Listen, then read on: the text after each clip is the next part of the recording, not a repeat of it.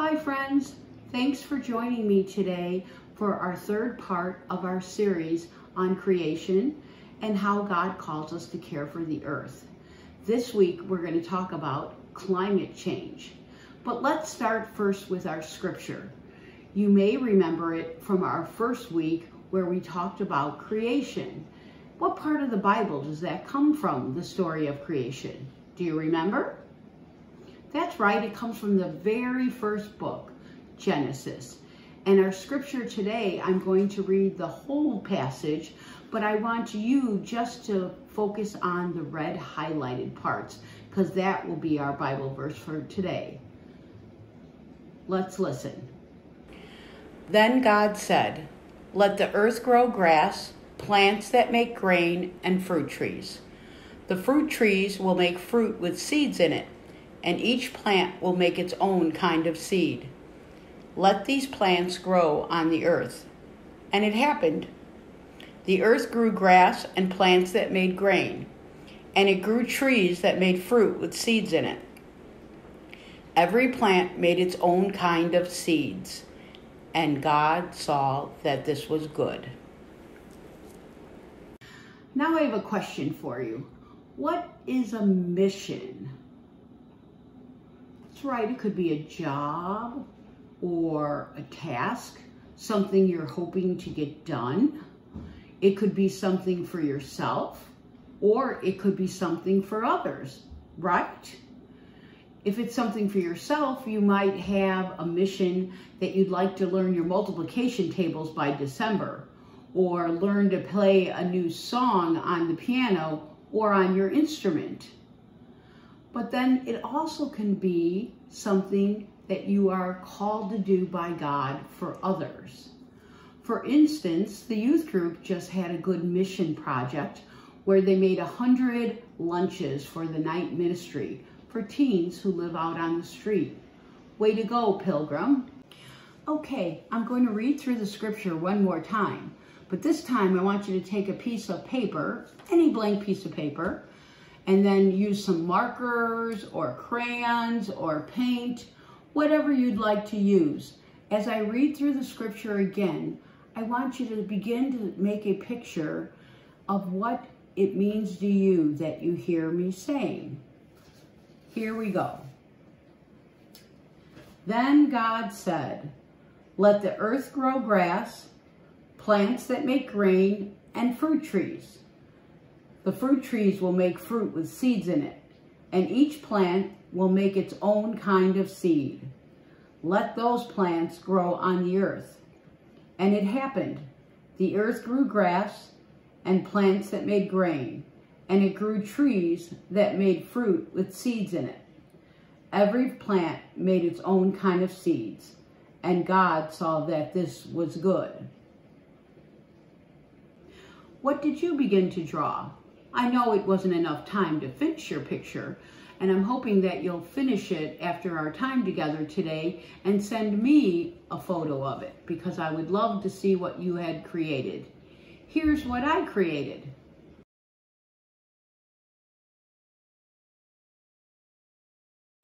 What is your favorite plant that God has created? Is it flowers or a certain kind of tree or the grass to lay down in, or maybe a pumpkin. We see a lot of those this year at this time of year.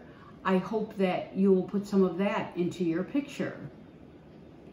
What was the last line of our Bible verse today? That's right. And God said that it was good. God cre has created a good and beautiful world around us.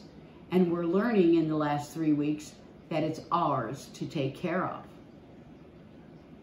Okay, now we're going to take a moment and get moving here. We're going to have a little recycling game.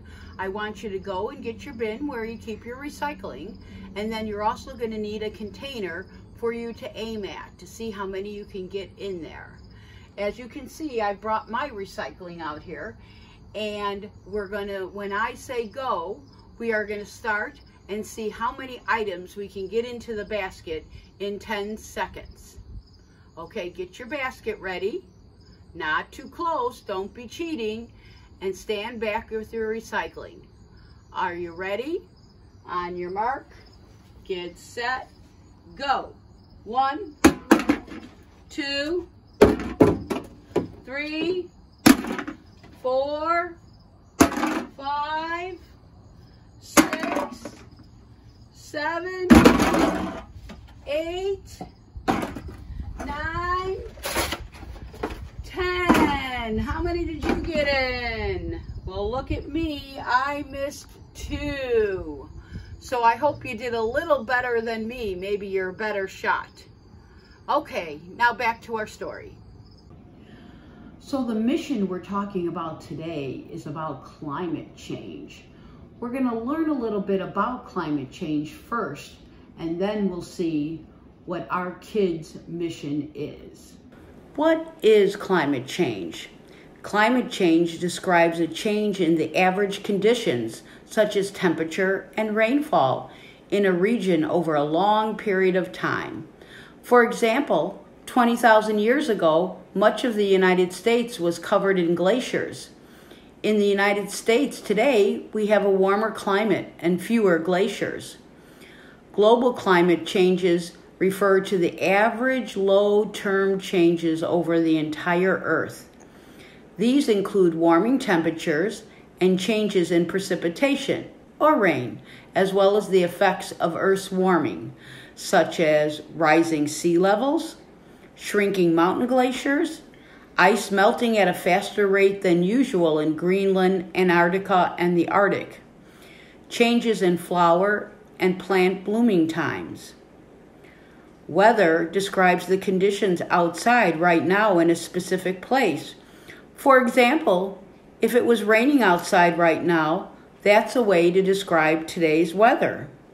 Rain, snow, wind, hurricanes, tornadoes, these are all weather events. Climate, on the other hand, is more than just one or two rainy days. Climate describes the weather conditions that are expected in a region at a particular time of year. Is it usually rainy or usually dry? Is it typically hot or typically cold? A region's climate is determined by observing its weather over a period of many years, generally 30 years or more. So, for example, one or two weeks of rainy weather wouldn't change the fact that Phoenix typically has a dry desert climate. Even though it's rainy right now, we still expect Phoenix to be dry because that's what it usually is. Earth's climate has constantly been changing, even long before humans came into the picture. However, scientists have observed unusual changes recently.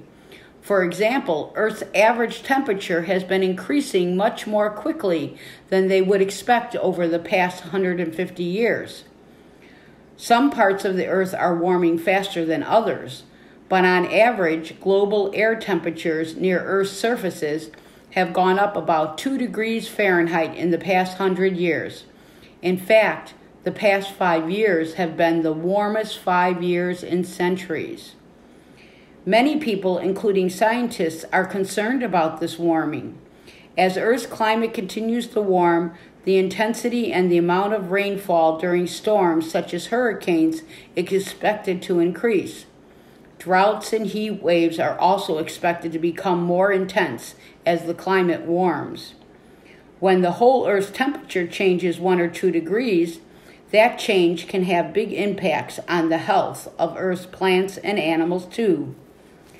There are lots of factors that contribute to Earth's climate. However, scientists agree that Earth has been getting warmer in the past 50 to 100 years due to human activities. Human activities such as burning fuel to power factories, cars, and buses are changing the natural greenhouse. These changes cause the atmosphere to trap more heat than it used to, leading to a warmer Earth. Climate change or global warming is affecting the whole beautiful earth that God has created for us, making it harder for crops to grow and animals to live in their natural habitats, and for us to just breathe. Just in the last month, you may have heard and seen pictures of the wildfires in California and how the air quality is being affected all the way up through the state of Washington.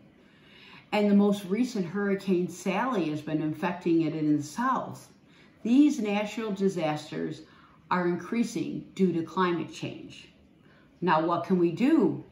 God is calling us to be the kids of mission, to care for the environment and change the way that we do some things. We can do it together. I've attached two videos to our lesson today. One is about children around the world and how climate change is affecting their countries. And another is about ways that all of us can change, even in the littlest way, to make a difference in the global warming and climate change. Okay, now for our science project. Today we're going to start a project called the water cycle bag and we'll be able to see the end of it tomorrow. These are the items you'll need. You'll need a Ziploc bag, a permanent marker, some good tape, and some water with food coloring, whatever color you want it to be. Since the earth has a limited amount of water, it has to change around and around in something called the water cycle. The water in your project will warm from the sunlight and evaporate into vapor. When the vapor cools, it will change into liquid or become condensed, just like a cloud. And when enough water has condensed, the air can't hold it anymore, and the water will fall down in precipitation, like water or rain or snow or sleet. In a real water cycle, rain, snow, or sleet might land in a body of water like a river or an ocean. And it might also fall on dirt where it soaks into the soil and either becomes groundwater that animals and plants drink or it runs off the soil and falls into the rivers, oceans, or lakes. And that is collection. That's why we need to control the pollution that's in our water and air, right? Okay, so let's get to our water cycle project. First, we're gonna start by drawing up towards the top where the zipper part is of your bag we're going to draw a cloud and a sun. My sun's gonna look like this.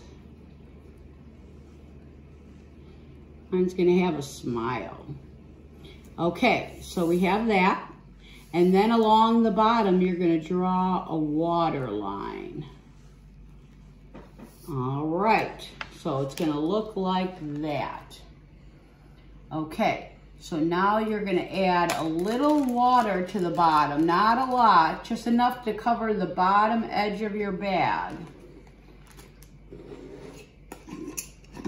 So that's why it kind of helps to have it already mixed up.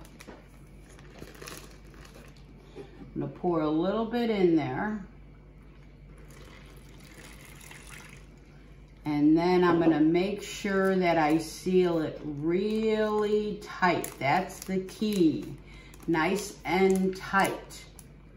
Now we're gonna go over and tape it into a nice sunny window.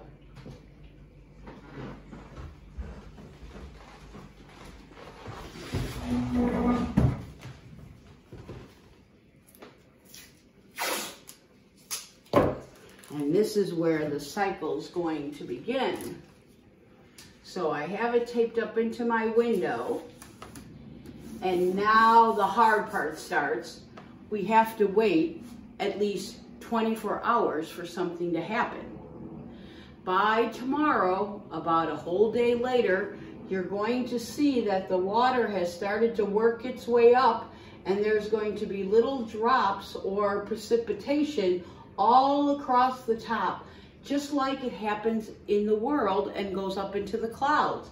So then you will gently push them down and they will go back into the water and the process will start over again. And you'll see the water cycle that we spoke about. I've also attached a video of the making of the water cycle bag. So feel free to watch that and see how that little boy does the project. Well, today we heard a lot about what we need to do to do a better job of taking care of God's creation. I hope you would join the kids' mission that God is calling us to do. We can all make a difference, no matter how old or how little we are, to make a change in this world and how we do things. Thank you for joining me this September as we explored the earth. I hope you will join me next week as we begin a new month and a new theme as we look at Philippians 3, running the race. Have your running shoes ready. Bye. See you then.